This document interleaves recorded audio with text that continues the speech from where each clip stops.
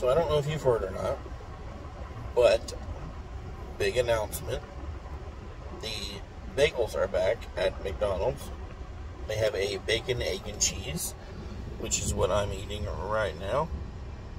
And they have a sausage, egg, and cheese, and the steak, onion, egg, uh, egg and cheese.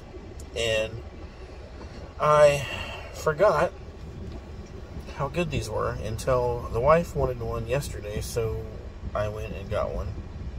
And today, surprise, surprise, she wants another one. Um, it's got two pieces of cheese on it, which I just now realized. And this, I want to say it's like a buttery garlic kind of sauce. You know, the folded egg, the bacon, and the bagel itself is is pretty good.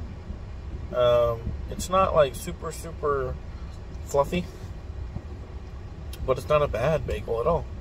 Pretty good sandwich. If you haven't got one, um, I think they're like, well, hold on, because I ordered one for her. I ordered her a meal, and I got just a bagel for myself. So the meal is eight nineteen, and the bagel itself is four sixty nine at my local McDonald's. Uh, they're very good though.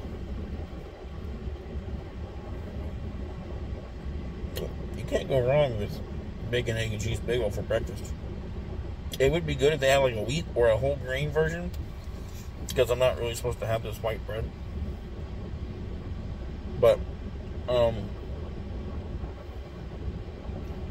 I figured if I only do it once, which is now twice because I did it yesterday, I'm good.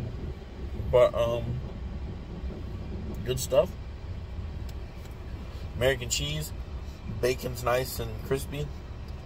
The bagel is toasted on both sides, as you can see there. And you, well, you can't see the other side because there's stuff on it, but it's toasted.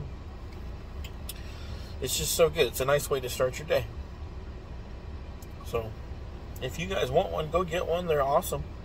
If you've never had one, you're missing out.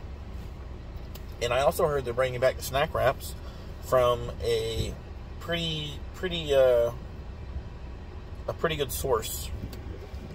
And they're bringing back, what was it? Something else they were bringing back as well. I don't know when they're bringing them back, but that's what I heard. And from this source, I trust them. So we'll see how long that is. But good stuff, guys. Good stuff. Go get you one.